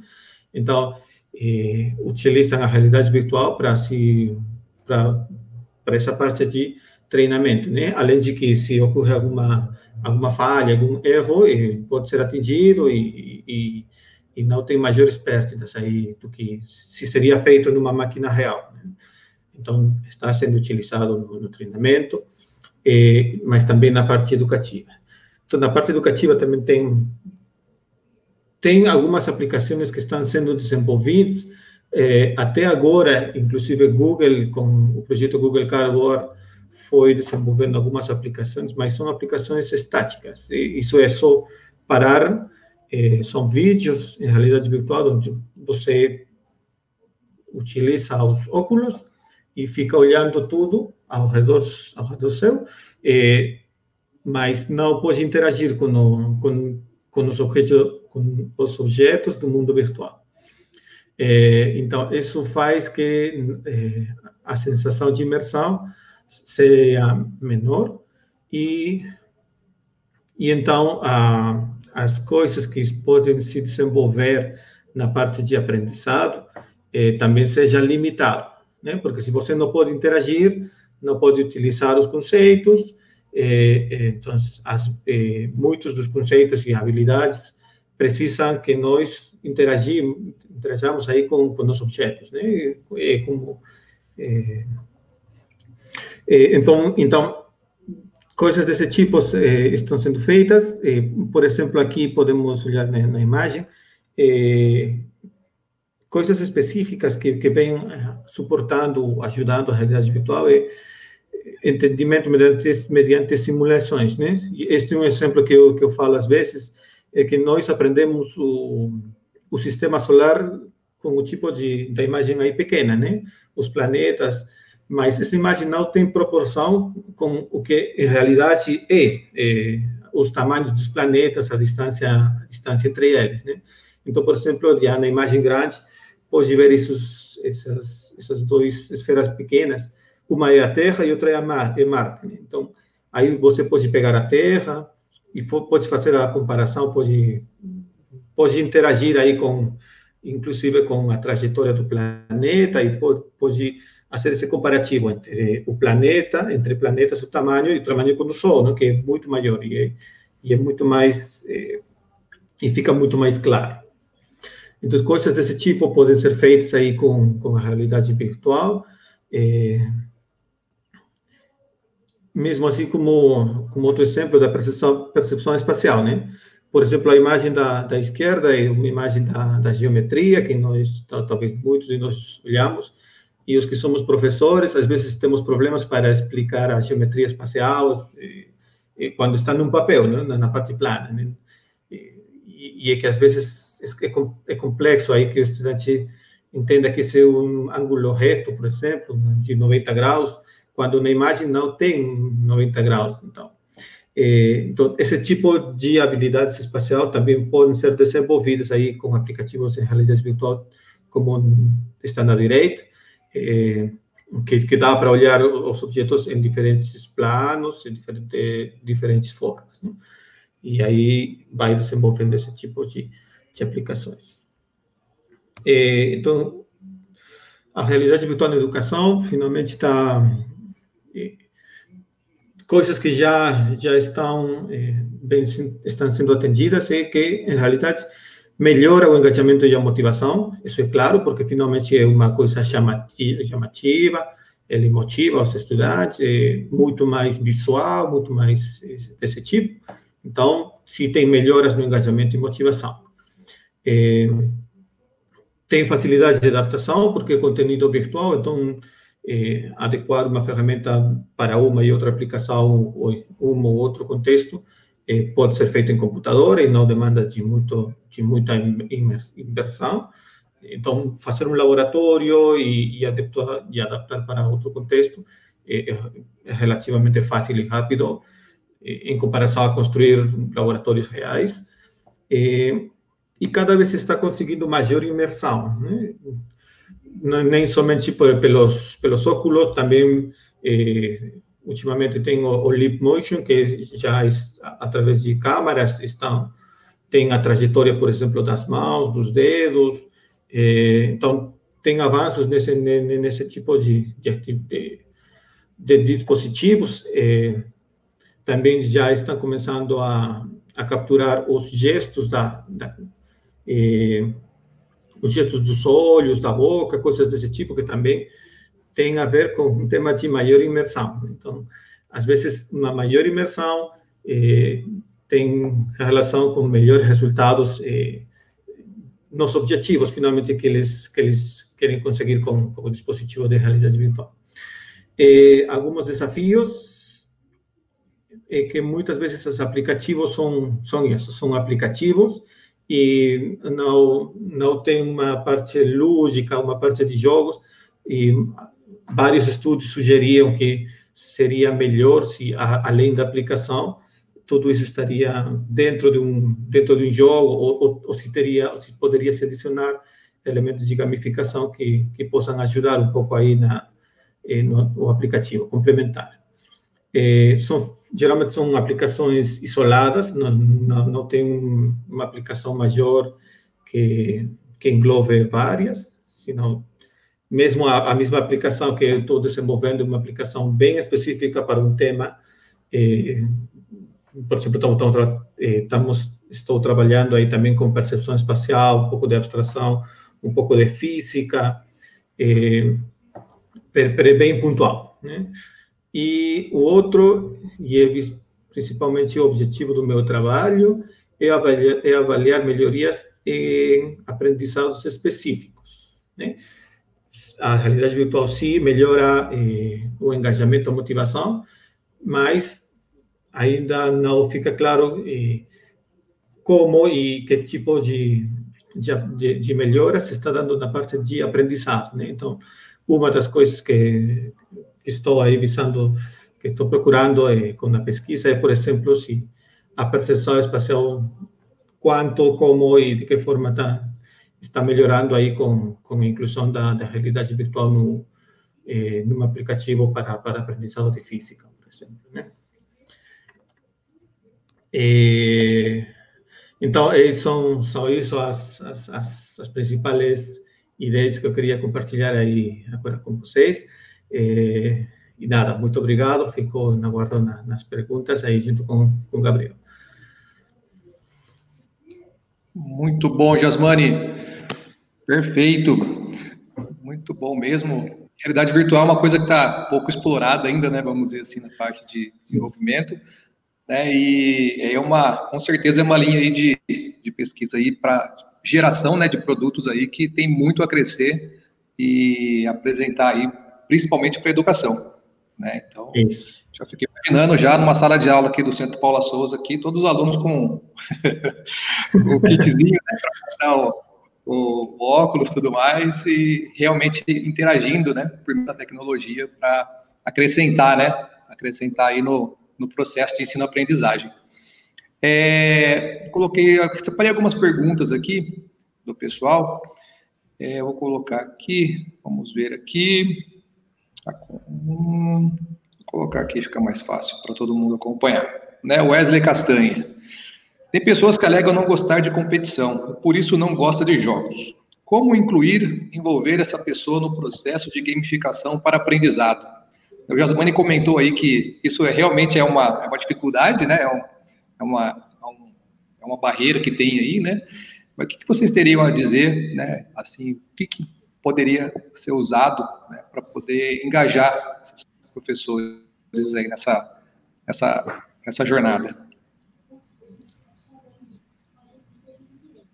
Legal.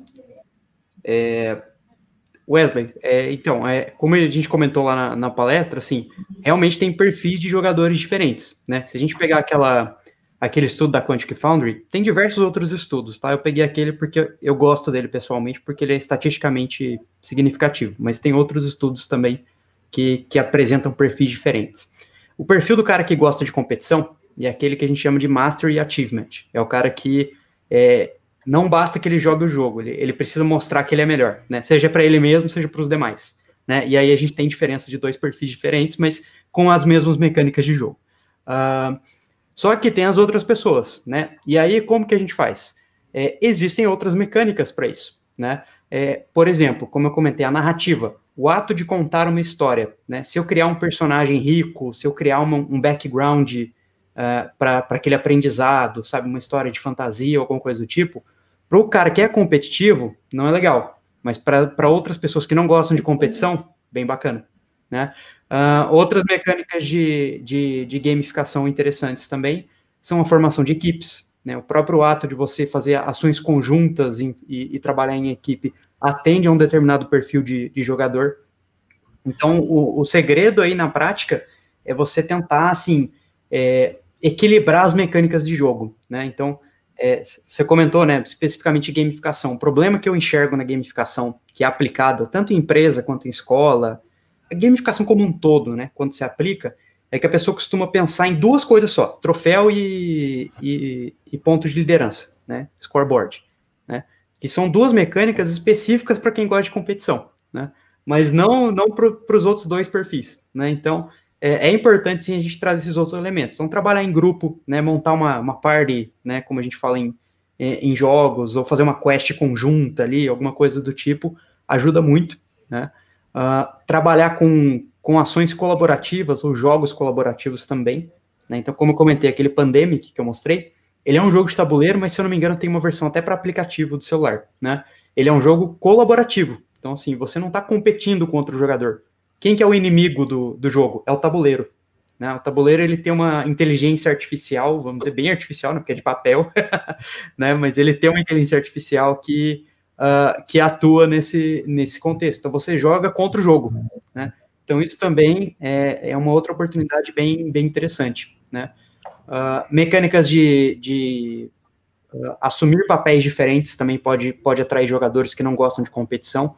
Da, mecânicas daquele tipo ah, é, uma das pessoas naquele jogo é um espião, né? E as outras pessoas têm que descobrir quem é, né? Isso é o tipo de jogo que também estimula esse tipo de, de perfil de, de jogadores? Que é diferente realmente de quem não gosta de competição. Mas tem um mundo de coisas que a gente pode fazer e, de fato, sim, não é simples equilibrar isso. É um, é um processo de game design mesmo que, que demora um pouquinho, mas o fato é, tem como fazer, né? E, e, e deveria ser feito para atender todos os perfis. Perfeito. Né? Alguma colocação, Jasmine? Não, tranquilo? É, só para só complementar o que já foi, foi falado aí pelo Gabriel, eu adicionaria começar esse processo de gamificação identificando os perfis dos alunos, né? Você identifica qual é o perfil da turma eh, para que depois possa criar a narrativa e os papéis que vão desenvolver pelos grupos, pelos, cada um cada um deles, né? Alguns são competitivos, outros são mais colaborativos, então tem que ter roles, papéis aí para cada um desse tipo de perfis de, de estudantes, né? Então, eh, não começar pelo desenho do jogo e depois encaixar na, nos estudantes, mas sim de, do contrário, né? Começar pelos estudantes e depois desenhar o, o, o ambiente gamificado. Isso. Muito bom. Respondido então aí, Wesley. Tem mais uma pergunta aqui da Fabi. Tem mais ou menos umas 800 perguntas, tá? Fiquem tranquilos que acho que vai dar tempo de responder. é, pergunta da Fabiana. Fabiana Marquezine. Trabalho com cursos técnicos ensino médio. Ele pode indicar algum jogo que eu já pudesse usar, colocar em prática com as turmas? Né? No, no chat aí foi colocado aí, vocês comentaram também sobre o Kahoot, né? Que é uma ferramenta bacana Isso. que auxilia mais. Você colocou mais algumas na apresentação aí também. Além dessas, alguma outra assim que vocês indicam assim para poder começar já, porque é, amanhã na turma? É que assim, depende do que, que ela ensina. né? assim, tem, tem vários jogos para várias coisas, mas é, assim, jogos de. Tem muito jogo na área de biologia, muito jogo mesmo. Assim, inclusive, eu estou orientando na UFJF uh, uma dissertação de mestrado que é, é um jogo para ensinar pande é, verminoses e, e, coisas do tipo. Então tem, tem vários jogos para isso que já já estão prontos, já estão saindo assim. Uh, que mais? Uh, agora jogo em específico, difícil dizer assim, só é, sem saber assim, né? Qual o contexto é mais é mais complicado, né? Poderia listar alguns, mas tem que tem que entender o que que ela ensina lá, né? Se, se é um curso técnico, talvez, é, não sei, pode ser uma coisa mais é, da área de TI, alguma coisa do tipo, né? E aí eu, eu recomendaria mesmo Code Combat, Robocode, uh, que mais? Pro, o próprio Royal True Learning, que estava lá na apresentação, acho bem legal ele também, é um, é um jogo bem divertido. Um, mas, assim, técnico, técnico mesmo que eu tenho de cabeça são esses, assim. Agora os outros tem, tem, que dar uma olhada, tem que ver o que, que, o que, que ela ensina. Né? Tem um de biologia muito bom, que Perfeito. vale a pena jogar, que é Plague.inc. Muito legal também. E bem adequado para hoje em dia, na pandemia.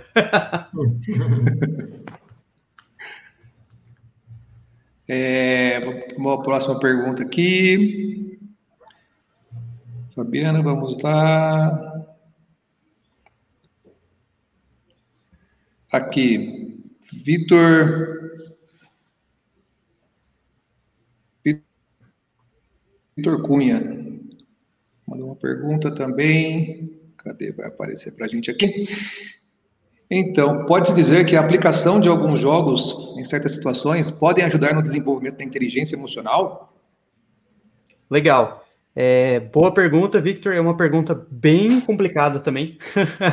Ah, assim, é, eu vou te dar a resposta acadêmica. Tá? A resposta acadêmica, difícil dizer ainda.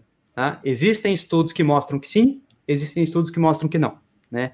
E aí a gente entra na validade do estudo, como foi feito, como foi aplicado. Né? O, o maior problema de se trabalhar com pesquisa em jogos é esse. É muito complexo você, é, você entender as relações entre as coisas. Né? Então, é, pode ser que o aluno melhorou a inteligência emocional, mas por outros motivos. Né? Assim, o jogo foi uma coincidência, vamos dizer. Né? Então é, é difícil, mas assim existem sim evidências de que isso de que isso acontece, né? De que a inteligência emocional pode sim uh, ser desenvolvida com, com o jogo. Como eu comentei, ainda não tem assim uma pesquisa impactante nesse sentido, né? Por isso até que eu estou pesquisando essa área, né? Doutorado tem que ser uma coisa diferente. Se fosse igual, não seria doutorado. mas, é, mas uh, existe aí uma certa discussão é, como tudo em jogo, né? Nada em jogo é, é, sedimentado em pedra, assim, tudo em jogo tem discussão. Mas se a gente pegar um dos pilares assim da inteligência emocional, principalmente, que eu acho que é a parte social, a competência social, sim, isso sim, com certeza. Né? Então trabalhar com jogos, sim, deixa as pessoas se expressarem mais, deixa as pessoas uh, trabalhar em equipe de uma forma mais integrada. Isso sim, existem vários estudos que, que comprovam, né? Inclusive, assim, é, conceitos até socioemocionais, que eu não posso dizer necessariamente que aumenta a inteligência emocional, mas aumenta um dos pilares da inteligência emocional, que é essa questão social e de autoconhecimento, é, que vários alunos, assim, às vezes enxergam a jogo, o jogo como um mundo onde ele possa ser ele mesmo, né, onde ele possa se expressar, vamos dizer, a verdadeira identidade, né, e isso melhora muito a capacidade de expressão, de argumentação do aluno em relação aos próprios sentimentos dele, o que ele está sentindo, o que ele está fazendo e assim por diante. Então, existem resultados positivos para isso, né? Agora, falar isso assim com certeza ainda ainda está discutido, né? Ainda está em discussão, né? Mas tem bons elementos aí que vão ajudar nisso.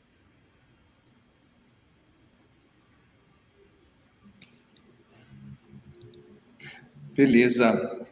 Não sei se é a área de vocês, vocês chegaram a pesquisar, mas o Vinícius Marques, né, você acha que a pixel art é muito difícil de ser feita? Ah, legal. É, Vinícius, eu trabalho com um artista de pixel art, assim, o, jogo que eu estou fazendo, Think Tank, é em pixel art, né, por sorte ele é um excelente artista, né, muito bom, mas assim, é, como acho que, como toda expressão de arte, tem suas dificuldades, né, não é simples de fazer, você pode você pode fazer um pixel art de forma simples, não significa que vai ficar bom, né? Assim como eu, se pegar um papel aqui, eu posso desenhar alguma coisa, mas eu não garanto que, que vai sair bem, né? né? Mas, assim, é, existe, sim, toda uma complexidade de, de pixel art e assim por diante, que é uma, é uma arte por si só, né? E, e é difícil de fazer porque é uma coisa mais específica, né? Tem suas dificuldades, sim, né? Mas, assim, uma, uma coisa boa, né, que, que eu posso te falar é que, assim, o pixel art no Brasil é muito bom, né? Os artistas de pixel art no Brasil são reconhecidos mundialmente. Né? A questão de arte é, visual aqui no Brasil, por incrível que pareça, eu descobri isso também né, entrando nesse, nesse meio, a gente é muito reconhecido lá fora, né? É, inclusive, não sei se né, quem gosta aí de, de séries e coisas do tipo, o The Umbrella Academy, né, que é um seriado do Netflix, é, para mim foi uma surpresa, mas assim, é, era baseado numa série de quadrinhos, mas quem ilustra a série de quadrinhos é um brasileiro, né? Então, a gente tem sim uh, muita competência técnica aqui em termos de arte para conseguir ser feita, né? É, falta ainda cursos aqui no Brasil específicos de pixel art, inclusive esse artista que eu trabalho junto, Thomas, está pensando até em fazer em um, é, mas é, dá para aprender, tem suas dificuldades, mas é, assim, dá para passar. Né? Se você quer ser bom nisso, com certeza vai, vai conseguir. Né? Mas sim, tem suas dificuldades, como tudo que a gente se propõe a fazer. Né? Se não tiver uma dificuldade, não tem graça, né? Vai contar Exatamente. o que Exatamente. É, tem uma outra pergunta aqui, Joso tem, acho que o, é, o Jasmine, acho que por trabalhar com realidade virtual, né, pode estar tá respondendo essa daí. É muito cedo para um aluno focar em frameworks como o SFML ou SDL, ou é recomendado engines como Unity, que foi citado. É, estou prevendo aqui que seja um cenário do aluno técnico, né, de 14 a 17 anos aí no mínimo, né, entre essas idades, é, ou até mais, né, acrescentando um pouquinho mais, que dicas que seriam valiosas, né, por um aluno que quer trabalhar com realidade virtual ou com um Unity, por onde que ele deve começar? Pois, então, se falamos um pouco para desenvolver algumas aplicações eh, básicas, eh, eu particularmente estou utilizando não Unity, mas sim Unreal Engine, porque tem um, eh, um linguagem de programação que é baseado quase quase como um, como se fossem blocos aí como utilizando um Scratch e outro, né? É um tema de utilizar os quadrinhos que são ligados uns com outros, então dá para dá para dá para fazer algumas coisas básicas, né? Então, para começar, acho que pode ser uma uma boa ferramenta, mas também como já tudo está predefinido, é, é, é certamente limitado. Né? Então, se você quer sair disso, então já é um tema mais complexo que tem que entrar na parte de código, coisas desse tipo, então já, já é mais difícil. É, isso na parte de, de desenvolvimento. Né? Depois, da, na parte de, de usar aplicativos, então, é, tem em STEM, em Steam, tem, tem aí diversidade de aplicativos, né? Então, dá, só dá para buscar aí e utilizar a, a as ferramentas que estão prontas, né? Legal. Só, só complementando o Jasmine também, uhum. é, agora a Unity, inclusive acho que foi mês passado, saiu uhum. com um update na, na plataforma que é para ter programação em bloco também. Ah, Eu acho que eles olharam o Unreal assim e falaram, opa, peraí, vamos, vamos pegar, vamos correr atrás desse prejuízo. Né? Aí agora tem programação em bloco também, né? Uhum. Também tem suas limitações, como o Jasmine falou, né? Você não vai conseguir fazer as mesmas coisas com bloco Isso. do que você faria na programação, mas dá para dá começar desse jeito. Uhum. Mas eu concordo com o Jasmine, assim, que é bom começar com uma dessas duas plataformas, né? Falando do contexto de jogo em particular, ou de realidade virtual e, e aumentada, assim, são as plataformas que são usadas no mercado de trabalho, né? Então, por bem ou por mal, a pessoa vai ter que aprender aprender essas engines e, e, como ela já tem muita coisa pronta, assim, é aprender essa engine é basicamente aprender quase com um, um, jeito novo de fazer as coisas, porque é bem específico, né? São, são coisas bem, bem específicas assim. Mesmo que a pessoa saiba, por exemplo, C++, né, C Sharp ou assim por diante, é, ela vai ter um, uma certa curva de aprendizado ali para aprender o Unity e Unreal, porque a plataforma é feita para facilitar o seu trabalho desde que você conheça a plataforma. Então, tem essa curva ainda.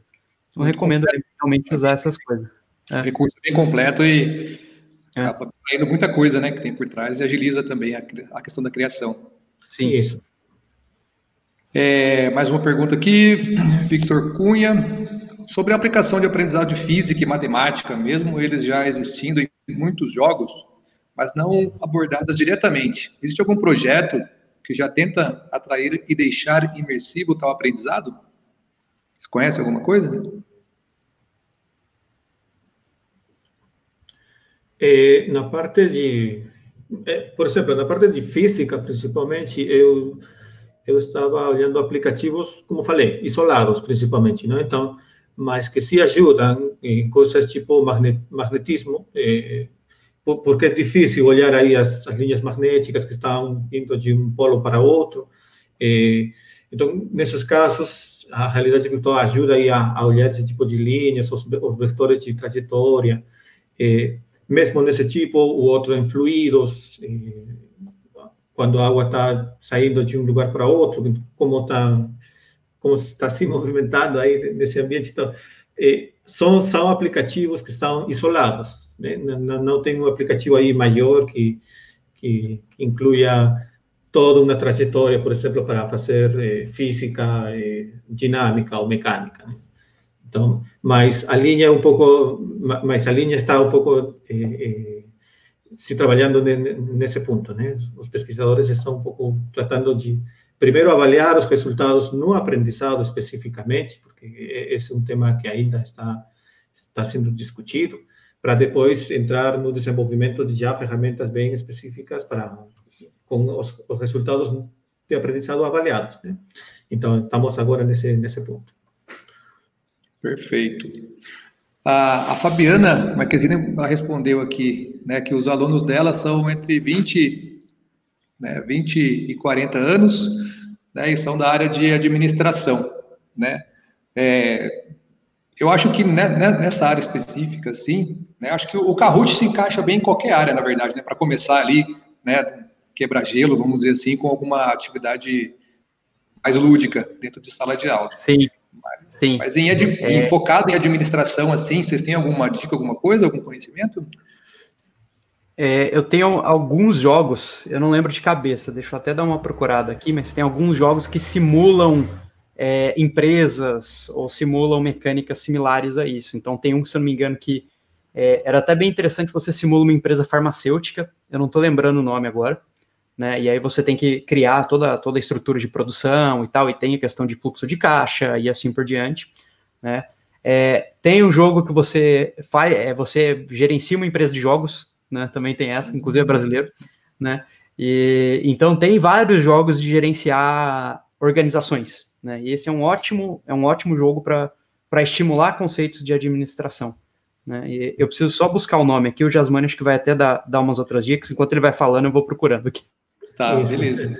É, so, somente eu, eu, ouvi falar de, por exemplo, Lego Serious Play, que é uma, mais uma metodologia utilizando aí os, os, os Legos, é, que trabalham justamente a parte é, institucional, não? institucional dentro da empresa, coisas desse tipo. Então, inclusive para criação de novos produtos, eles utilizam. É, é, mais uma metodologia utilizando Lego que é utilizado como um jogo, coisas desse tipo. Então, talvez aí pode, é, pode dar uma, uma olhada aí no, é, no nome, é Lego, Lego Serious Play, aí para, para, para que possa ir procurar um pouco mais detalhe. Mas isso, acho que isso pode, pode servir.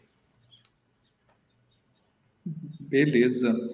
Aí depois também, se vocês lembrarem os links, depois a gente coloca na descrição do vídeo aqui, né? E o pessoal é, pode acessar depois com mais calma também, para não precisar ficar muito perdido aí também, desesperado tentando achar alguma coisa. Não, é... achei. Tem dois, tem dois eu recomendo que é legal. É, um é o Big Pharma, que é um jogo já antigo, que você faz essa empresa farmacêutica, né? E o outro é um mais, assim, abstrato, né? É, não, não é feito com o objetivo de ensinar mesmo, mas dá para dá pegar alguns elementos que é o factório. Então, você constrói uma fábrica, assim, infinita, vamos dizer. Só que você tem lá as regrinhas do jogo que dá para usar como ilustração também. Né? Não, legal. É, vamos aqui, tem um, uma professora Daiane, colocar aqui, né? Daiane Mariano, eu nunca vou esquecer da experiência que tive com um aluno de programação. Ele estava lá por causa do ensino médio, não gostava da parte técnica. Aí, depois de participar do Robocode, mudou totalmente seu interesse pela área de programação. Né? Então, é um exemplo aí né, de, de que participar de coisas podem despertar né, para outras, né, vamos dizer assim. Quem é que não gostava de programação, né, no curso técnico, tudo, mas o Robocode acabou ajudando né, a pessoa, o aluno a se interessar pela área. E acontece muito disso, né? Você está até mesmo entre alunos de outros cursos, né, que não tem nada a ver com a área de, de desenvolvimento, por exemplo, podem participar de ações que acabam, pode acabar despertando algum interesse específico, né, para continuar uma graduação, continuar até no, até para no mercado de trabalho também, né, pode, nunca é tarde, né, para descobrir as coisas, né, isso com certeza. Sim, é, o jogo ele tem essa capacidade inata de de, de mudar comportamentos, né, como a gente comentou, e, e, esse certamente é um deles. Até puxando o gancho, né, que o, o Victor tinha comentado, da, do, do, jogo desenvolver inteligência emocional. Como eu falei, em termos acadêmicos, ainda está em debate, né, mas, se você pensar assim, no conceito do jogo, tem, tem várias coisas que fazem você se questionar e pensar de formas diferentes, né. É, como a gente deu exemplos de jogos aqui, eu vou dar alguns outros que eu não comentei, né. É, um deles, por exemplo, que é bem interessante para trabalhar empatia, é Papers, Please. Né? É um jogo indie muito legal em que você faz papel de um funcionário de. Uh, você aceita pessoas dentro do país ou não, você carimba o passaporte. Né? E aí você, e você trabalha numa ditadura né? e, e você tem que aceitar essa pessoa ou, ou não. Né? E, e, o jogo todo brinca com essa história de quem é a pessoa que você está aceitando, né? De onde ela vem, qual é o background dela, né? Então você meio que é obrigado a sentir empatia por, por quem você está porque você está aprovando ou não. Né? Esse é um deles. Uh, um outro jogo bem interessante disso é o Journey, né, que trabalha um aspecto bem particular da inteligência emocional, que é a questão social. É, é, um jogo que se trata, como o próprio nome diz, da jornada. Né? Você não tem uma, uma, uma conclusão, vamos dizer, oficial do jogo, o jogo se trata em chegar até algum lugar. Só que o mais legal desse jogo é que nessa jornada, você, se você trabalha, você joga com um outro jogador te ajudando, você consegue fazer coisas diferentes, né? E a comunicação que você tem no jogo é só um som, você só emite um símbolo do personagem. E foi criada toda uma linguagem em cima disso para identificar, assim, ó, são três símbolos seguidos, significa que tem alguma coisa legal ali perto, que é para as pessoas te seguir. Né? Então você cria toda uma comunicação em cima do jogo baseada nisso, né? Então todo esse comportamento, né, de querer se comunicar, de de sentir empatia e assim por diante pode ser pode ser trabalhado com o jogo e esse exemplo do Robocode acho que é um outro exemplo disso também. Né? Eu vou até colocar aqui no, no, no link, Thiago, se você puder depois passar, para o pessoal. Esses que eu falei. Ah, beleza, eu passo. E vou colocar os links na descrição do vídeo, né? Aí fica, Boa. o pessoal vai poder acessar depois também. Né? É, eu vou deixar só o nome porque Tranquilo. é fácil de achar, tá? Aí é só tá. digitar Journey Game e Papers, Please. Esse é bem legal. Tá.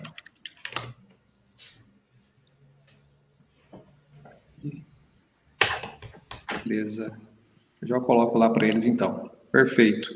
Então, né, tem algumas perguntas aqui já foram respondidas também, né, né foram, as, foram iguais tudo mais. E só para também né, dar uma outra. Apresentar para o pessoal que não conhece ainda, né, a gente está desenvolvendo vários materiais, né, várias é, questões de maratonas, competições e tudo mais. Então, para que vocês conheçam um pouquinho mais né, do trabalho nosso que a gente está fazendo e participem também, né, nós temos aí a, a, a Robocode, né, que o Robocode aí, que como foi falado, nada mais é do que um canhãozinho aí, e o pessoal programa, né, esse canhãozinho para poder duelar entre as, entre as equipes. Né, tudo virtual, nada de violência, né, então tranquilo, até o dia 30 do 9, né, as escolas têm para poder fazer essa competição local, né, aí o representante, o vencedor da escola, aí vai duelar com os demais, né, então até 30 do 9 dá tempo ainda das equipes participarem, né, os professores aí podem apresentar para os alunos, eles podem montar equipe no Teams, né, e aí desenvolver o robozinho aí, testando aí tudo virtual, né, uma das atividades que podem ser feitas aí remotamente, sem problema nenhum, tá? Então aí dá para trabalhar física, matemática, né, com um simples, um simples jogo aí que é bem bacana. Então, uma outra dica aí de participação também, de atividade, de promover na escola, né, a questão de, do incentivo para trabalhar com o hackathon, né, então é, temos aí o terceiro hackathon acadêmico, está sendo apresentado agora né, esse ano, e tem até dia 30 de agosto, ainda dá tempo, né, o hackathon geralmente dura 24 horas, né, então dá tempo ainda de participar, né, e tem que atender ao tema responsabilidade social, né, que atende a Agenda 2030, 2030 da ONU, né, abordando algumas ODSs aí. Então, todas as informações, né, sobre essas competições aí, para vocês participarem, está lá em www.robotica.cpsctec.com.br, né, barra hackathon. Então, tem todas as orientações lá para as ETECs apenas, né, então a participação é até 30 do 8, tá? Inscrevam-se, dá tempo de desenvolver uma solução, né, e participar aí desse, desse, desse projeto.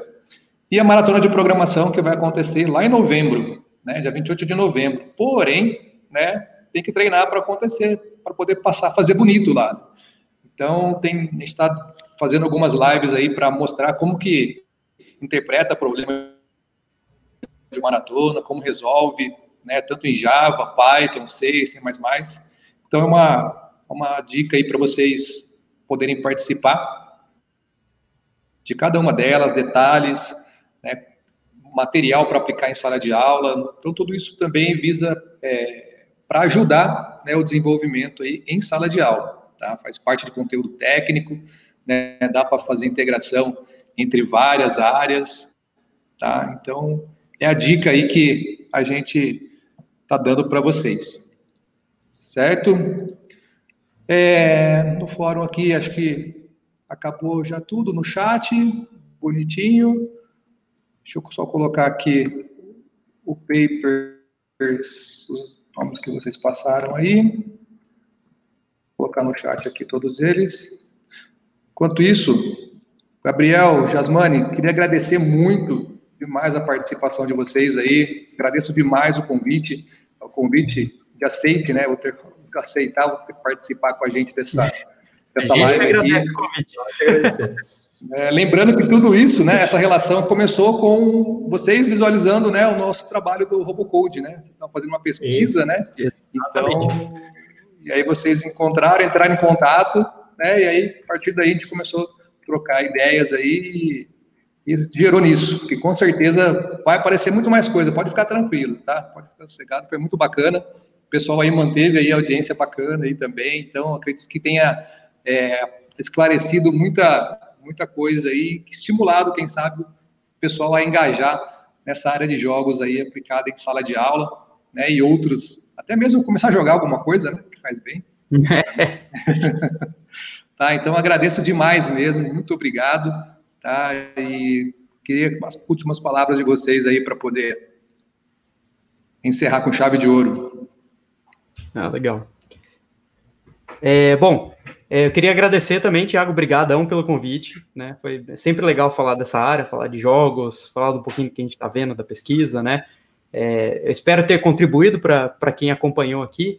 Realmente, jogo é uma área bem complexa, como deu para ver, assim, né? não tem nada garantido na área de jogos, infelizmente, mas tem um potencial muito bom, né? E pesquisas acadêmicas muito interessantes que mostram, sim, que o jogo pode mudar aquela imagem que a gente viu lá do da Idade Média que se mantém até hoje né, na, nas salas de aula. Né? Então, eu acho que o jogo traz esse potencial incrível de, de melhorar o, comportamento do ser humano, né?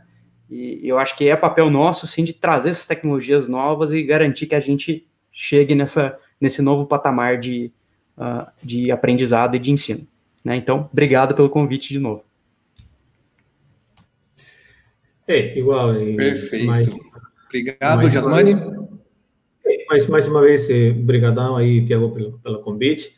Somente aí eh, também agradecer a, ao público hoje e, e nada, falar que, que, é bem importante também eh, procurar espaços para os estudantes complementar as atividades da aula e as competições são um ambiente bem bacana, os estudantes eh, ficam bem, bem engajados, motivados, eles continuam depois, eh, depois de participar, continuam daí ligados com a tecnologia, a ciência, mesmo. Os estudantes agora estão sendo formados em engenharia, eh, e acho que os estudantes de, acho que de Dayana também, e, e não é uma motivação temporal, eh, é uma, uma motivação que vai ao longo do tempo, né? Então, animar-os aí, o Centro Paula Souza tem múltiplas eh, competições, eventos, eh, participem, é coisa bem bacana, bem, bem, bem legal, e, e, somente isso. Agradeço mais uma vez o, o convite, e, e será até outra oportunidade. Obrigado. Beleza. Obrigado, então, encerrando aqui, aí, Pode compartilhar o link com seus colegas, com os professores, com seus alunos, que acredito que pode ser de grande valia aí para o desenvolvimento das atividades nas suas respectivas escolas. Tá bom? Então, um abraço a todos. Acompanhem nossas lives lá no canal da Robótica, tá? Se inscrevam no canal aqui também. E até uma próxima, hein? Tudo de bom para vocês. Um abraço. Até, abraço. Tchau, tchau, gente. Obrigadão.